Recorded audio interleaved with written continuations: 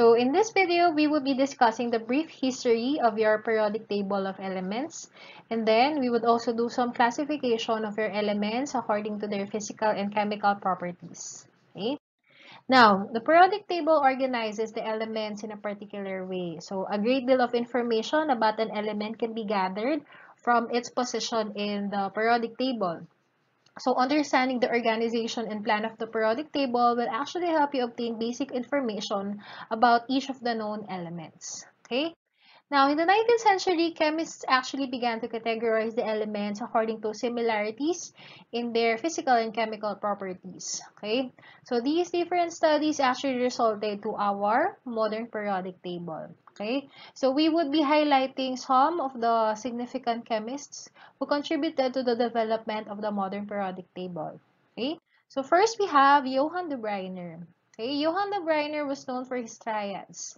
So he grouped his elements into three, wherein he observed similar chemical properties and orderly physical properties. So for example, we have lithium, sodium, and potassium. So these are the alkali formers.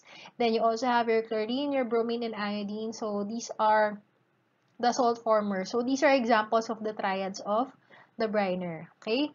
So next we have John Newlands. Okay. So for Newlands, he had a different way of organizing your elements. So instead of threes, he arranged your elements by eights or he arranged it in octaves, okay? Because he noticed after arranging the elements in order of increasing atomic mass, certain properties actually repeated every eighth element, okay? So he pointed out that every eighth element in this grouping would actually have similarities, so will have resemblance, and he suggested that we use an analogy using the intervals of the musical scale. Okay, so next we have Dmitri Mendeleev. So Mendeleev was actually known as the father of the modern periodic table. Okay, so he published a table of the elements organized by increasing atomic mass. So as you can see in the figure here, so this is the original periodic table by Mendeleev. Okay, he had a contemporary Lothar Meyer. So Meyer at the same time published his own table of elements organized by increasing atomic mass. Okay, so both Mendeleev and Meyer actually arranged the elements in order of increasing atomic mass and both left vacant spaces where unknown elements should fit. Okay, but Mendeleev was credited because of his periodic law. Okay, so Mendeleev stated that if the atomic weight of an element caused it to be placed in the wrong group, then the weight must be wrong. Okay, so Mendeleev was actually confident also in using, he was confident in using his table that he actually predicted some of the elements that were not yet discovered during that time. Okay, so now the modern periodic table that we are using nowadays was actually modified by Henry Moseley. Okay, so he actually determined the actual nuclear charge or the atomic number of the elements and he rearranged the elements in order of increasing atomic number. Okay, so because of Moseley, all of the hard work of the previous chemists were now arranged into the modern periodic table that we are using now. Okay, now those are some of the chemists who contributed to the development of our periodic table. Now let's go to the grouping of elements. So the elements of the periodic table can be divided into three main categories. We have the metals, the non-metals, and the metalloids. So as represented by the colors, the green ones are the non-metals, the blue are the metals, and then we actually have the metalloids as represented by the purple um, boxes. Okay. So properties of metals, so this is just a recap. I know you already knew this. So metals are actually good conductors of heat and electricity. They are shiny, they are ductile, and they are also malleable. So a chemical property of metal is its reaction with water, which actually results in corrosion. Okay. Now we have your non-metals. So these are poor conductors of heat and electricity. They are not ductile or ma malleable. They're brittle and break easily and they are dull. And most of our non-metals are gases. Okay. Then we have the metalloids or the metal-like elements. So they have properties of both metals and non-metals. And the solids can be shiny or dull. Okay, so they also conduct heat and electricity better than the non-metals, but not as well as your metals. Okay.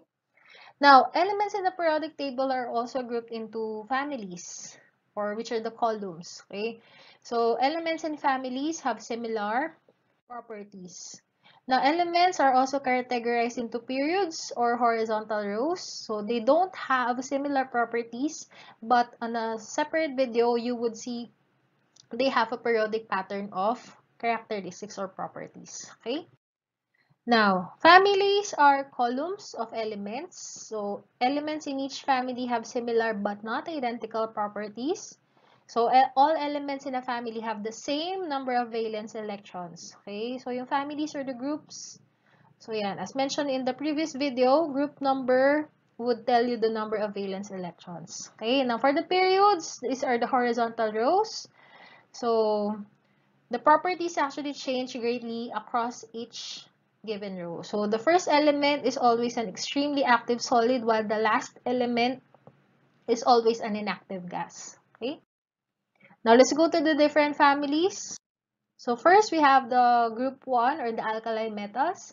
So these are found in the first column of the periodic table and they have a single electron in their outermost level. So they are shiny, they have the consistency of clay and are easily cut with a knife. And they are the most reactive metals among all the metals in our periodic table. And they react violently with water. So they are also never found as free element in nature and they are always bonded with another element. Okay. So next, let's go to group 2. We have the alkaline earth metals. So they are also never found uncombined in nature and have two valence electrons. Okay. Examples of these are magnesium and calcium. Next, we have the transition metals. So at the middle portion of our periodic table, you would see them. So in these include those elements in the B families. So these are the metals you are probably most familiar with. So I use characters from movies to associate them with your um, transition metals. But this is Quicksilver, Iron Man, then the Tin Man, then you have copper. Wala akong character for that. Anyway, so the metals, the transition metals are good conductors of heat and electricity. Okay, so some transition metals are actually used um, as paints, as color paints. Okay, so um, they have one or two valence electrons which they lose when they form bonds with other atoms. Okay, so they have properties similar to one another and to other metals, but their properties actually do not fit in with those of any other families. Okay, so many of your transition metals combine chemically with oxygen to form compounds called oxides. Okay. So next we have the boron family. So this is named after the first element in the family and they have three valence electrons. They are found in the group 3. So it actually includes a metalloid which is boron and the rest are metals. Okay. So it includes the most abundant metal in the Earth's crust which is aluminum. Next we have the carbon family.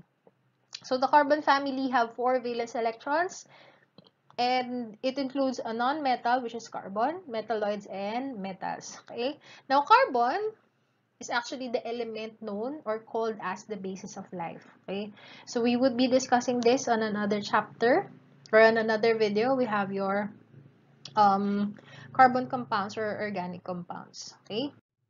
So next we have the nitrogen family. So they, they are named after the element that makes up 78% of our atmosphere, which is nitrogen. Okay, so it includes non-metals, metalloids, and metals.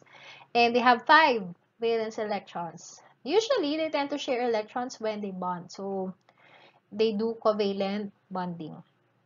Okay, so these are the examples or the members of the nitrogen family, your nitrogen, phosphorus, arsenic, antimony, and bismuth.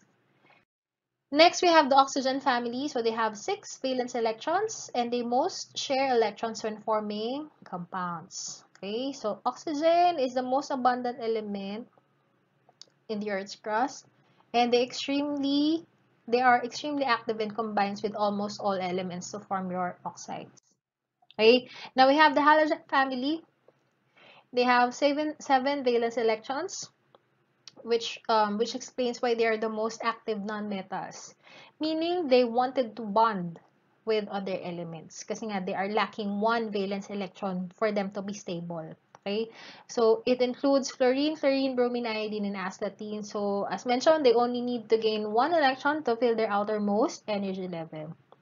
Okay, usually they react with the alkali metals to form salts. And last, we have your noble gases.